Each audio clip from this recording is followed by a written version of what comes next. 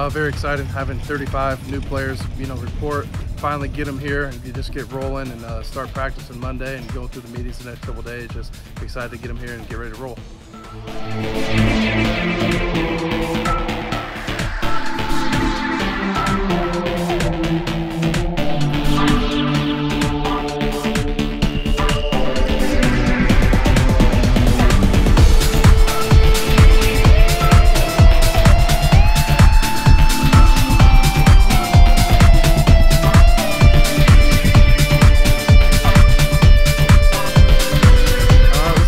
I mean, they got a good setup here, close to our uh, close to our locker room, close to CAF. Uh, good sized campus, obviously. So